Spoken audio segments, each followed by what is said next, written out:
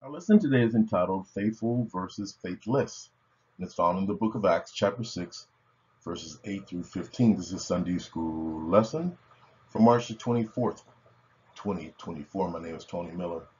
And the key verse for our lesson today is found in the 8th and the ninth verses of the text, and it reads as follows Stephen, a man full of God's grace and power, performed amazing miracles and signs among the people, but one some men from the synagogue of free slaves was, uh, as it was called, started to debate him. And they were Jews from Cyrene and Alexandria and Cilicia and the province of Asia. Again, faithful versus faithless is our subject.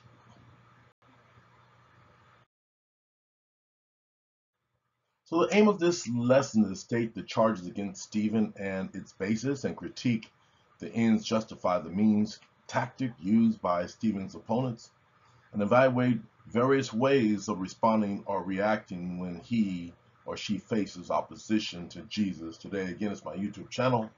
As you would please hit the subscribe button and notification bell. You'll get my lessons automatically. If I give you any value at all, please like my lessons.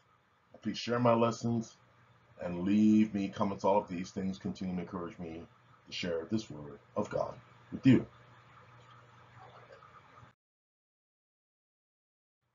So let us pray. Heavenly Father, we're grateful that once again you've given us an amazing lesson, an amazing subject. And Lord, we are grateful. And we're grateful you've caused us to come together at this moment.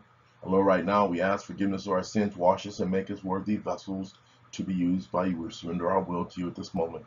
Send us the Holy Spirit, your teacher. Lord, the God, the true teacher, the God, and direct our path at this moment. In Jesus' name we pray. Amen.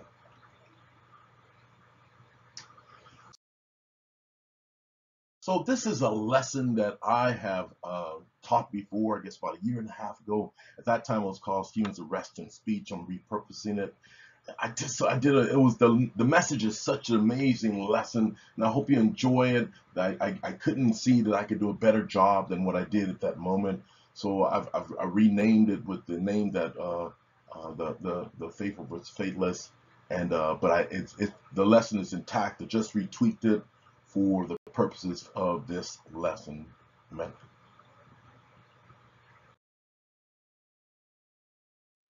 Full of the Holy Ghost an important verse in understanding this filling of the Holy Holy Spirit in John 14 and 6, where Jesus promises the Spirit would, would indwell the believers uh, and it would be a permanent indwelling. He says that it will not leave us comfortless, right?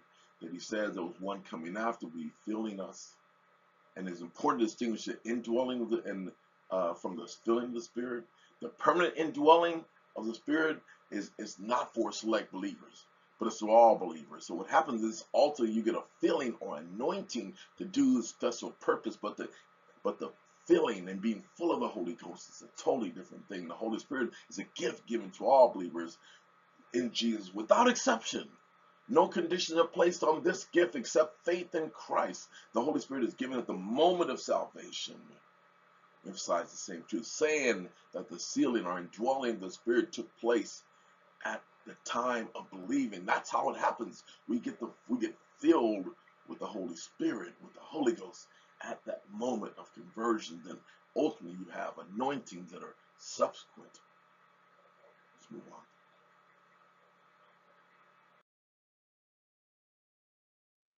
Uh, these uh, disciples or apostles, you know the 12.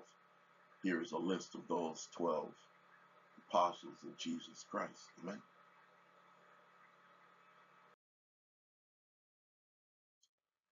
So this book of Acts, it's uh, Acts is not is the only biblical book that is uh, chronicles the history. It's basically a history book. And a lot of people want to put a lot of doctrinal points in it, but it's really a history book of the church. And immediately after Jesus' ascension, such as it provides, provides us with a valuable account of how the church was able to grow and spread from Jerusalem to the rest of the Roman Empire. You know, living out that that great commission to go into the world and make and make these disciples go into the world and take this uh, this this gospel message to the other most parts of the of the of the known world. And only in three decades decades. A small group of frightened believers in Jerusalem transformed, transformed into an empire-wide movement of people who committed their lives to Jesus Christ, ending on a high note with Paul on the verge of taking his gospel to the highest government officials in the land and ultimately to the Emperor Rome. And, but again, that's the, the acts of the chronicle, the acts of the apostles chronicled in this book. Amen.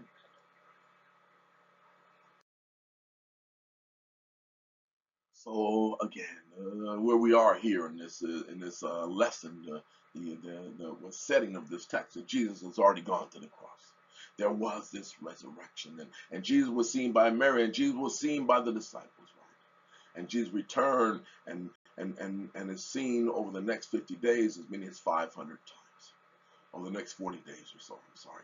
And, and Jesus tell of the comfort that's going to come. He says that's going to come to those 120 people in the upper upper upper room. And, and Jesus will go back to the Father after the 40 days, and, and on the 50th day, the Holy Spirit will come and dwell those people ultimately those people in the room, but ultimately the people in that region. And evidence the Holy Spirit was seeing that they were filled, that there was evidence that they, they that uh, the Spirit is seen, uh, they were filled with the Holy Spirit, and they would speak in tongues that they did not speak before. That people in, in, in Hebrew can hear it in Latin, and people in, in Aramaic can hear it in their languages, and, and ultimately everybody can converse because that will give them all the ability to, to spread the gospel to the uttermost parts of the world. Amen.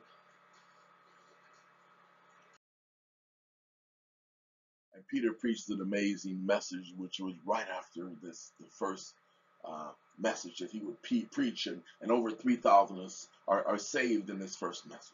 And the gospel message is spreading, folks were receiving this Holy Spirit, and they were receiving those gifts that I share with you, of the, the Spirit, right? The first century church was growing and the gospel was going forth. And, and hopefully, because of the size and the growth of this first century church, they would have to move outside of the city. And and remember, there was a lame man who was was lame for over 40 years, who would always be taught, brought to the gate that that that he would ultimately be be healed and the, and people were amazed. And, and, then these apostles, because of their the, because of their faith and because of what they were doing, and because of the Jewish leaders did not like what they were doing, that they that Peter and John will be thrown into jail, and the Jewish leaders are disturbed, and Peter's was by bold preaching by the power of the Holy Spirit. Those apostles went back to the people, and 5,000 more are added to the church. And the name and the power of Jesus is, is, powerful, and, and all are being filled by this Holy Spirit. And the apostles are in jail, but they have a miraculous escape, if you know that story. They're beaten, and the growth of the church is unstoppable. The healings and miracles are gone with them wherever they would go.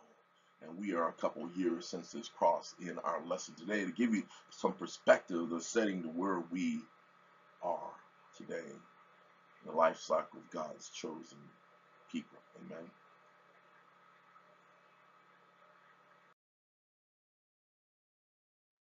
So here today we're in Act 6 and we will will give you the, the, the, the beginning parts of this Act 6 that'll lead us up to this lesson uh, and hopefully you'll find some value in as an on-ramp into this lesson. Amen. So in Acts chapter 6, uh, verse 1, now about this time, again, some perspective of timing, when the number of disciples were increasing, a, a complaint was being made by the Hellenistic, uh, those Greek-speaking Jews. I share with you in these last when we were talking about the book of Hebrews, uh, with the Hellenistic Jews, and they, they were Greek-speaking. They were still Jews, but they they they didn't just speak Hebrew. And then and against the there's a, a, a complaint against the the, the native Jews and the Hellenistic Jews because of, the widows were being overlooked in the daily serving of food. Again, the, the growth of this church, I share with you, the 3,000 and 5,000 people outside the city, and then they just felt there was something that's not being being uh, being done right, that they needed to improve the, the service, that that that that that, that don't overlook the, the, the those who they feel less than those real Jews in a sense. Okay, amen.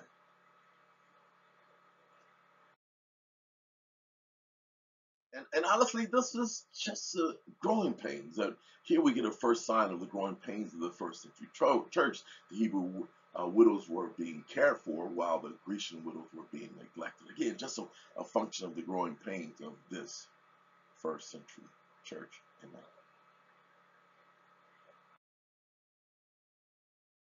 And in verse verse two, those twelve I share with you. The twelve were the, they together. They said that it is not appropriate for us to neglect the teaching. That's what their focus was, right? And, and, and the word of God to serve tables and manage this food distribution that they didn't want to have to deal with these issues, right? That the, that the apostles had, the disciples, they had other functions and that was a teaching all these thousands of people now coming to the faith and they, they, they said, let's do, let's try to figure out a plan. And that, that's what we coming uh, closer to our lesson today. So understanding, amen.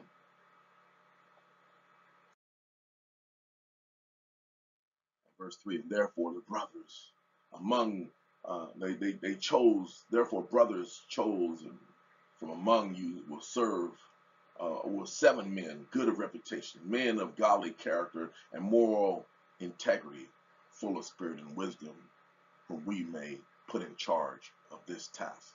If we know in our churches, especially maybe in the Baptist church more than some other churches, but they have these these other men who are who are deacons. I'll get to that point as we move forward here. That this is this whole function of choosing men from a, among the flock in order to be able to to to to do the tasks that are that are not necessarily being done by the those who are in the hierarchy of this church. Amen.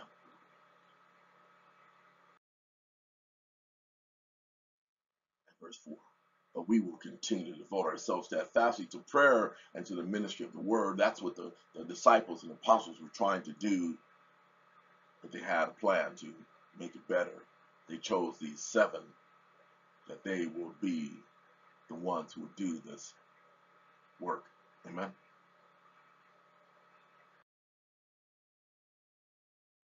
Verse 5 and 6. The suggestion uh, pleased the whole congregation. So they selected Stephen, a man full of faith in Jesus Christ and filled with and led by the Holy Ghost. And, and Philip and, and Prochorus and, and Nicanor and Timon and, and Parmenius and, and Nicholas, a proselyte. That means he was a converted Jew. That's when you see this word proselyte, that they were not necessarily born Jew, but they were converted from Antioch. In verse 6, and they brought men from before the apostles and after praying, and they laid their hands on them and they're dedicated to the mission commission of, this service. I remember about 30 years ago, I was uh, ordained as a deacon in the, in the Baptist church. Uh, obviously, I've, I've, I've fellowshiped with a lot of different kinds of church, but back back then, uh, I was I was I was ordained, and they and they did the same practice. They pulled men who were full of the Holy Spirit that would use them in order to do the services uh, for the flock of the church. And this is kind of how it, it happens in all churches throughout our country, throughout the world as well. Amen.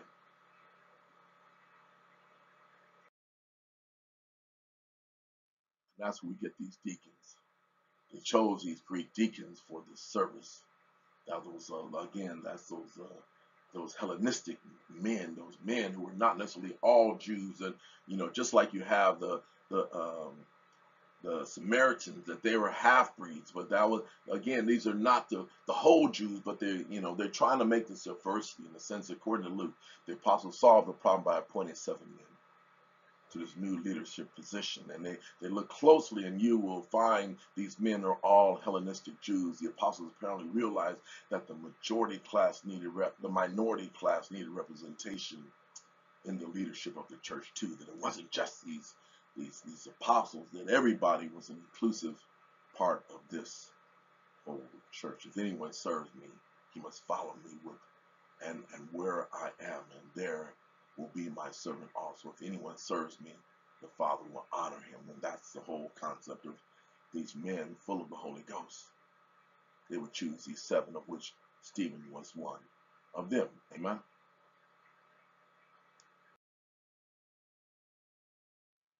The final verse of our beginning of this lesson, uh, chapter 6 the, the, the, message of God kept on growing and, and spreading.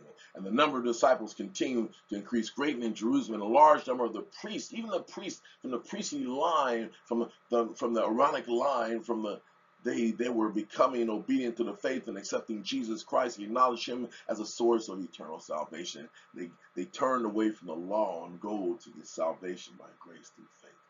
They were not ashamed of the gospel of Jesus Christ, for it's the power of God for salvation for everyone who believes. That's where we go here to lead up to our lesson. Amen.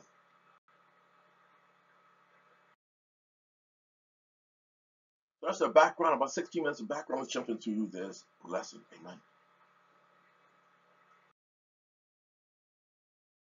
So we begin here in verse 7, uh, I'm verse 8 of our text here in chapter 6.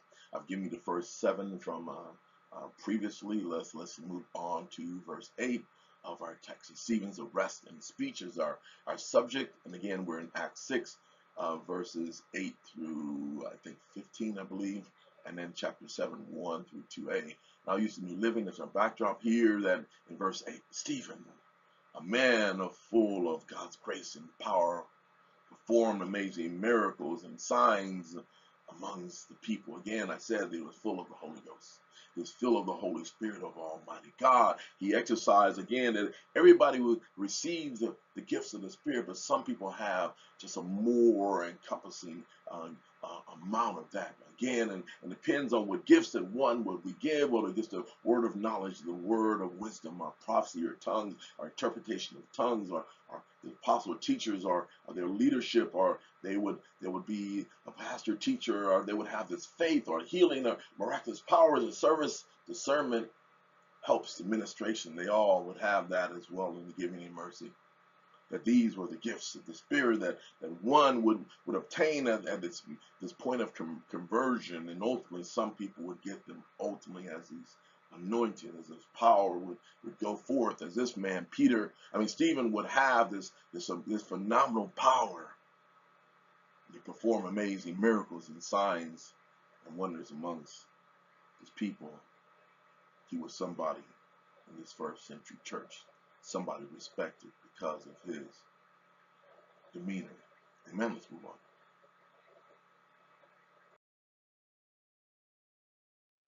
Stephen was a man full of faith in Christ Jesus and filled with and led by the Holy Spirit of God. A deacon in this first century church, one of the seven, one chosen amongst men, a leader, a servant of Jesus Christ, a miracle worker, a man full of grace and power. That's who he is. That's who many of us should aspire to be like this as well. Someone who's filled with the Spirit of God. The one who may be chosen a leader, a servant, a miracle worker, someone full of grace and power. We should all ascribe to those attributes as well. Amen.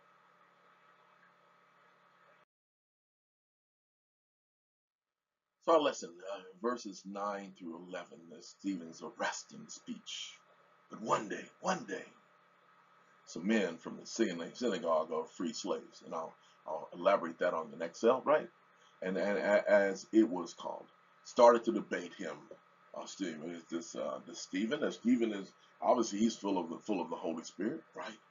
And, he has wisdom and he has knowledge as well and and he has these these gifts of the spirit as well and and he's trying to debate him. And and there were jews from cyrene and alexandria and Cilicia and this whole province of asia asia minor. I share with you in the image in the backdrop and you see alexandria and and Cilicia in the center of this lesson of this uh, map to give you some perspective.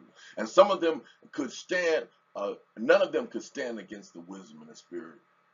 It was with stephen as Stephen would speak to them, that he would be engaged and interact about this whole discussion about the widows as well, and he would understand, and they, and they would also interact with the, as he discussed about other parts of the faith, right? And they, so they persuaded some of these men to lie about Stephen. Again, these these these men from the synagogue are, are free slaves, and and and and and, uh, and so they were persuaded, and and they they would say that we heard him to Stephen and he blasphemed against Moses and even God. Yeah, that's why I share with you that definition of blasphemy that one has um, has judgment against them for doing this act against these deities or you know God as well as Moses, religious leaders as well. Give you some perspective of where we are. Let's move on in this lesson. Magnify this synagogue of free slaves to give you some perspective of that as well. Next slide. Amen.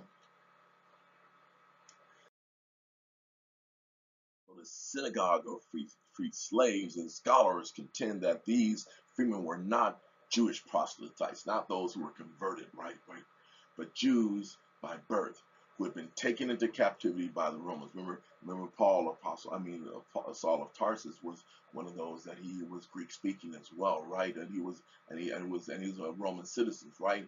And that's why they, they, he was able to do a lot more things when he was, uh, was preaching the gospel, right? But the Jews by birth were taken into captivity by the Romans and, and then set and then set free. Again, that's the whole thing of, of, of these freed slaves and, and something they call liberty or libertini, and they were also uh, there were many of these kind of uh, Jewish folks.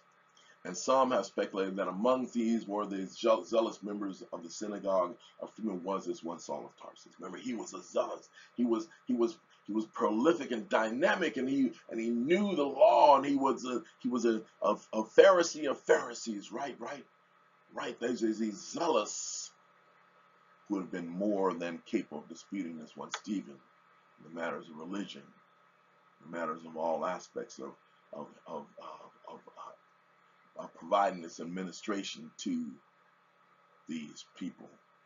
Amen. Again, the synagogue or free slaves, some perspective for you. Amen. Let's move on. Let me magnify another point.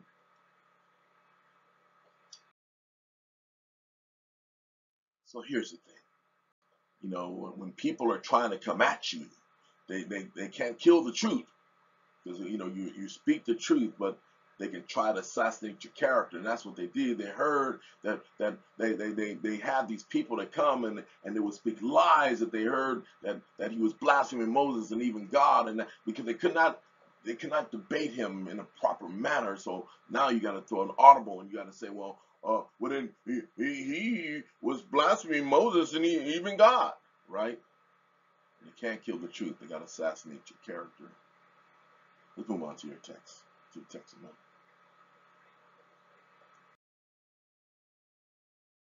Stephen's arresting speech. And now we're going from verses 12 through 14. As they they rused the, the people and the elders and the teachers and the religious law members of the law. That's the scribes and the Pharisees and those, those lawyers and all those religious leaders. And so and so so so so they arrested Stephen. And they brought him before the high council, and that be the Sanhedrin, right? In verse 13. And the, and the lying witnesses said that this man is always speaking against the holy temple and against the law of Moses. Um, I, I, would think so. Verse 14. And we have heard him say that, that, that Jesus of Nazareth, that, that, that crucified Messiah, that King of the Jews, that he said that he will destroy the temple and change the custom of Moses that are handed down to us. And that we heard him say this let's magnify a point here, uh, here to give you some perspective of, of yeah, he, he probably did say that. Let's move on. Amen. So Stephen was a, a, a, accused of the same charge in which the Sanhedrin accused Jesus as threatening to destroy the temple and damage the religious structures against this Roman law is punishable by death. Again, as I said about this blasphemy, that, that, they're, that you punishable by death for this blasphemy.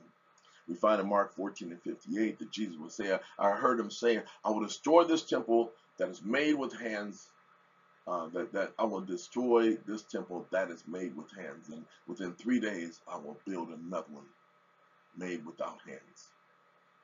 Let's magnify some more points along this whole concept. That's what Jesus did say. And no doubt, Stephen's probably saying the same as well. Amen.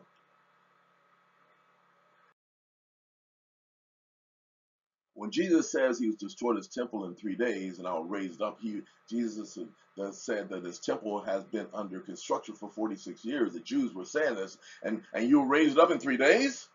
But he was speaking of his the temple of his own body, right? And he, and he asked that he'll be raised from the dead. These disciples remember what he had said, and, and they believed the scripture and the word that Jesus had spoken, that he was talking about raising up the temple in three days. And again, the problem with is when you have people that are knowledgeable about the word, they want to take pieces of the of the Bible and they want to throw pieces back at you. They're not not understanding the whole totality of the word. You know how that is with people. that people want to sit there and say, oh, but the Bible says this, and there's what about this? And they want to take pieces out of context. Let's move on to magnify another point about this whole uh, contrast between this word that that's, Stephen may have been saying as a contrast between the law. And then, again, let's move on.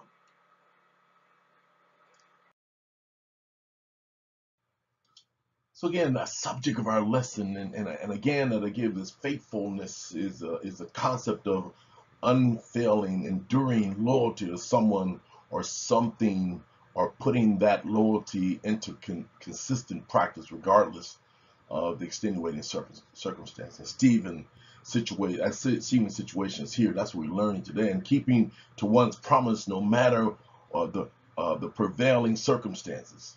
Literally, it's a state of being full of faith in the sense of steady devotion to a person or to a cause. The religious leaders here uh, were faithless. Their theology was more about their own social uh, status and or economical power that uh, they possess because of their position inside society. And here in this lesson, Stephen clashed with the, the faithful leaders of society that that it's like when when someone's light is burning so bright and, and folks who are in in position of power. They can't see where someone's outshining them. That was a position that they had with jesus as well that that jesus was was greater than they were. So they had to do everything they could in that instance in order to stop him from his journey as well as that's the issue that's happening here with this one stephen a deacon of the church a man full of the holy ghost. Amen. Let's use the resting speech in verse 15 of our text here.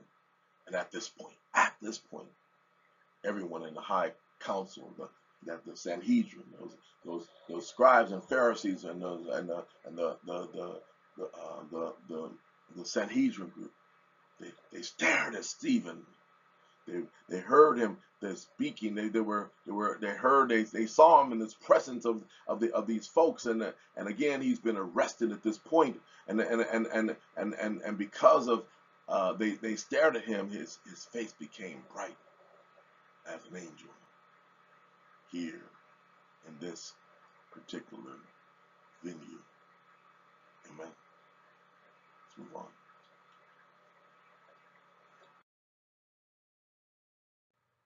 So this ends our present text, the, this last verse. Let's move on to close out this lesson. Again, I've repurposed a lesson prior, but uh, but I but the essence is so amazing. I believe there's two more cells to close out this lesson. These leaders had to put out the light of this amazing man, this uh, this this man full of the Holy Ghost, full of the Holy Spirit of Almighty God, a follower of Jesus Christ. And, and, and this what happens to us sometimes when our light shines brighter than those who are in charge. Let's move on to close. Amen. Jesus was crucified because he gave a better message to God's people a message of salvation by grace through faith and not that law, not keeping those 615 laws, the 10 laws by Moses, but the, all of the laws and, and the temple and the priesthood are, are, are now becoming insignificant, that they were all that in a bag of chips, and everybody followed the law, the temple, and everything else. And people, and I share with you that even the priests were leaving the temple worship and they were following after the law, they were following after this, the gospel message, or following after Jesus, right? Man was unable to keep the laws. And man has all has been able to keep those laws for all time. And and, and Jesus' message, and ultimately Stephen's message that he was actually speaking was absolutely against the law and these Jewish traditions. So I just shared with you before in that chart, right? The Jewish leaders did not like Stephen's power. They didn't like his signs. They didn't like his authority and his service to God's people and, and to the Gentiles. So they arrested him that's who we are in this moment and and they're, they're having this interaction with this man that that that, that they're wondering is, is is this true next one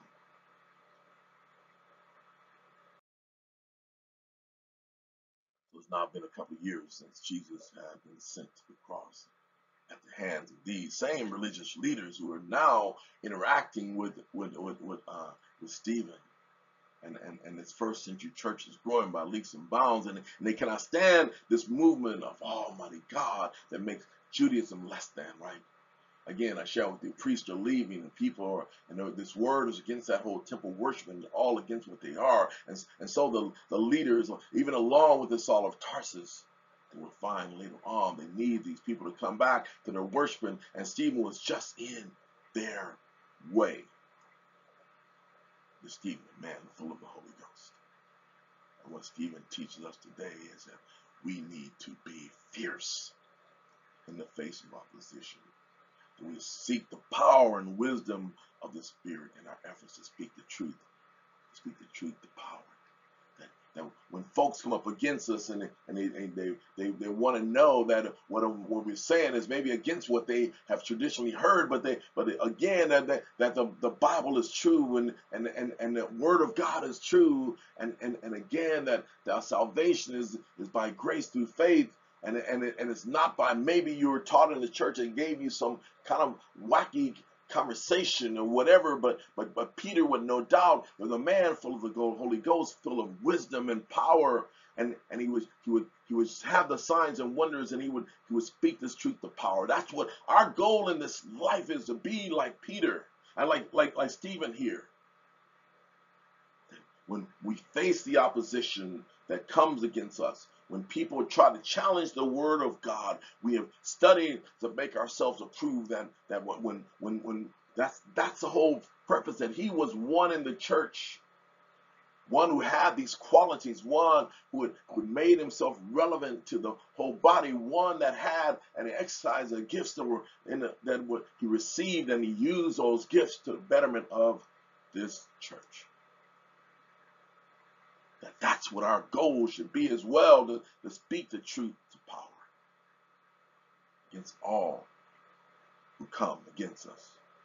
And, and, and next week we will continue what happens as this, this, this narrative of this when Stephen, I can't elaborate more because I don't want to delve too much into next week's lesson, but this is what we should be doing as, as we should be like this one Stephen. Give the Bible gives us somebody to pattern our life after. That's the pattern of why men and uh, who are chosen from amongst the other men in the church, those who have allowed the Holy Spirit to move and exercise the gifts within our lives, and and and, and, and that's how we are all called to do. And that is our Sunday school lesson this week. And I pray that something you've learned this week. Strengthen your faith. The Lord provides all of your needs. Needs. You learn something worthy of sharing. And I ask this always in the matchless name of Jesus, who is God's Son and our Savior. In His name we do pray and ask these things always. Thank you so much for your time.